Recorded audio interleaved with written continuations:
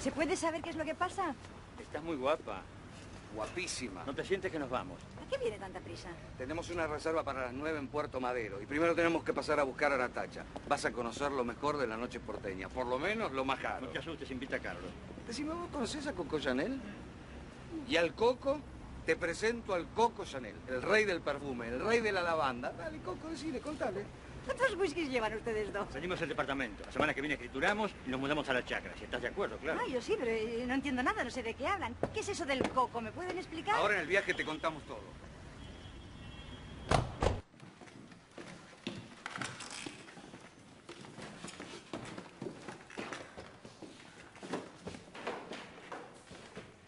Le puse, bueno, querido Pedro, la dirección de allá, de Córdoba, y el teléfono.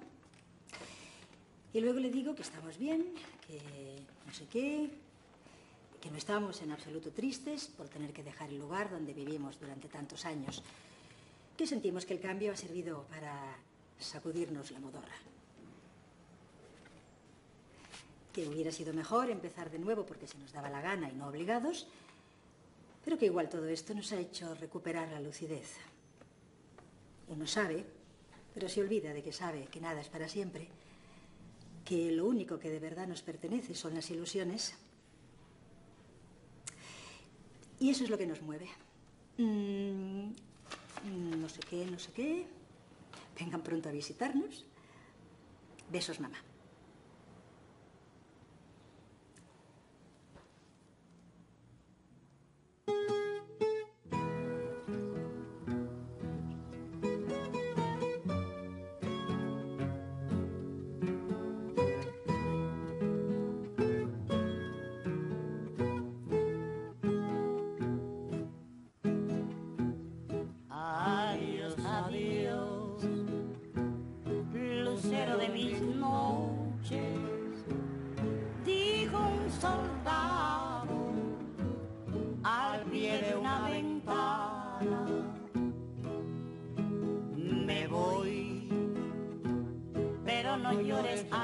Mía, que volveré mañana.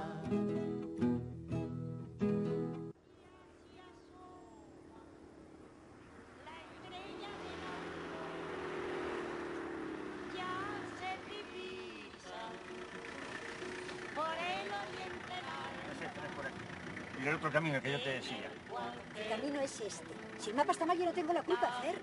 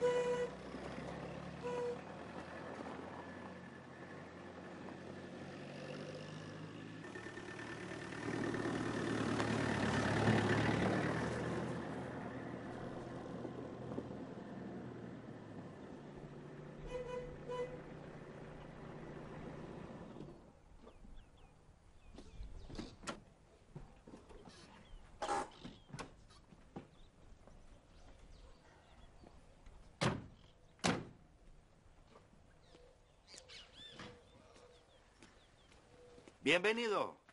Hola. Usted debe ser del medio. Mucho gusto, Robles, Fernando. Hola. Esta es Liliana. ¿Qué hay? Llámeme Horacio nomás. Y es de medio, sin la L. La gente se confunde y me dice del medio, pero es de, la L sobra. Usted perdone, pero Zacarías lo escribió mal con la L que sobra. Es un viejo atorrado. Lo hizo a propósito porque sabe que no me gusta. Cuando me quería hacer enojar, me decía, oiga del medio, tenga del medio. ¿Cómo anda el viejo? Bien, aguantando. Le mando un gran abrazo. Habla muy bien de usted, lo quiere mucho. Yo también. Ahora con ustedes voy a extrañar menos. Bueno, si me abre el baúl, le saco las valijas. No, no hace falta, lo bajamos mañana. Bueno, lo dejo descansar entonces. Si necesitan algo, me llaman. El rancho está ahí nomás. Hasta mañana. Muchas Chao, hasta gracias. mañana, muchas gracias.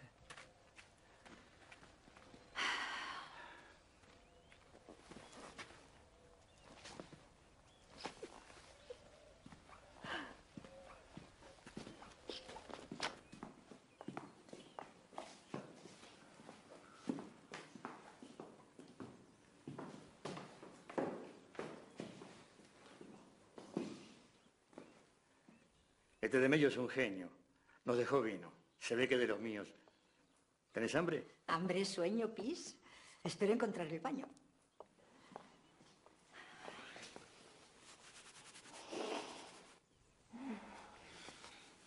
Gracias. Gracias, ¿por qué?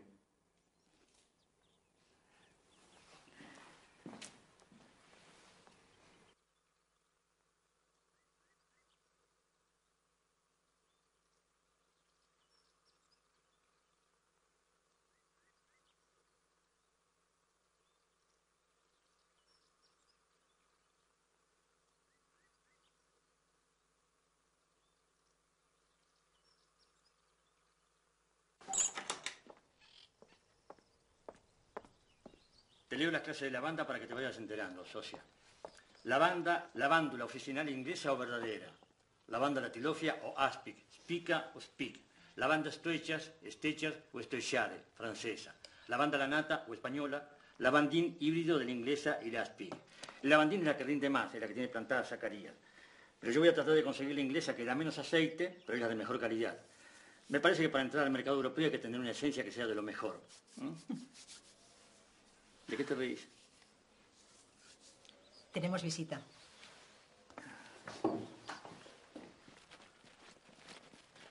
Buenos días.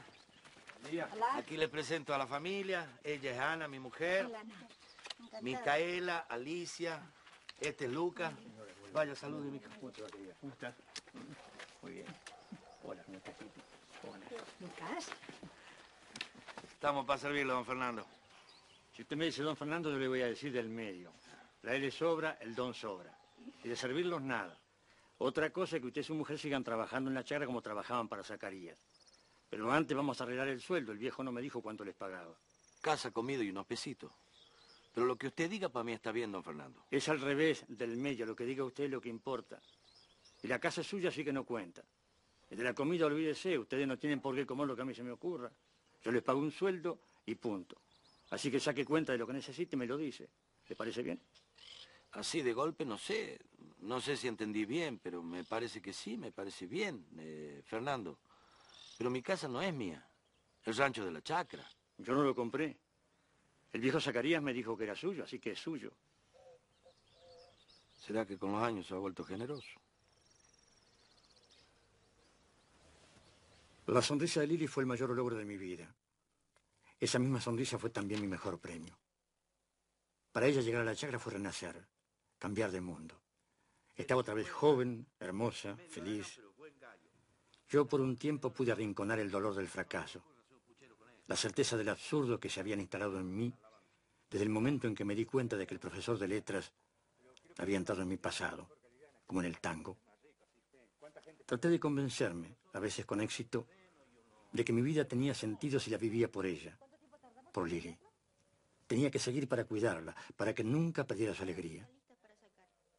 Lili dijo que uno sabe pero se olvida de que sabe. Esa es la manera de convivir con la lucidez.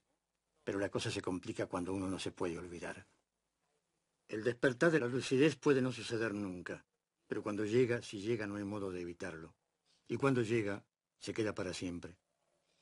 Cuando se percibe el absurdo, el sinsentido de la vida, se percibe también que no hay metas y que no hay progreso. Se entiende, aunque no se lo quiera aceptar, que la vida nace con la muerte adosada, que la vida y la muerte no son consecutivas, sino simultáneas e inseparables. Si uno puede conservar la cordura y cumplir con normas y rutinas en las que no cree, es porque la lucidez nos hace ver que la vida es tan banal que no se puede vivir como una tragedia.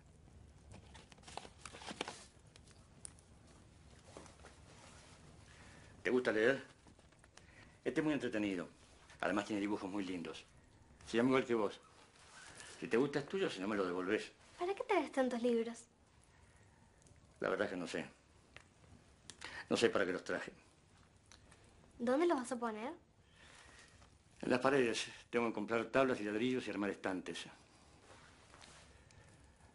Cuántas palabras para un mismo desconcierto.